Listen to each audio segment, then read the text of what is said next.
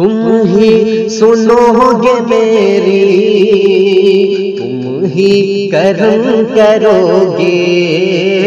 दोनों जहाँ में तुम ही, मेरा भरम रखोगे। दाद खाहे आलम, मैं एक नसीबे बरहम। तुम बेकसों के वाली, मैं बेनवास वाली। तुम मासियों का यारा, मैं गर्दिशों का मारा। रहमत हो तुम सरापा, मैं मुंतखब खता का हूँ शर्मसार अपने आमाले के सबब से, मेरा भी गम। कहना शहे अरब से, तैबा के जाने वाले। जाकर बड़े अदब से मेरा बेटे से